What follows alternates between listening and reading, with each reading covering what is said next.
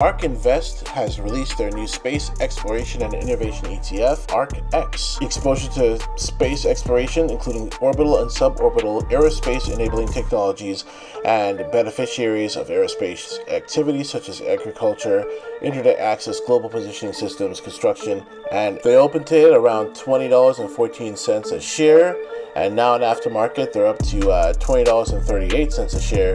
So we're up 1.22% and i can only imagine that this etf will go straight to the moon. Hello hello. It's roland mills a classically trained opera singer and former starving artist. Welcome to my channel. I'm here to inspire you to make money and build real wealth. So subscribe for more personal finance conversations like this one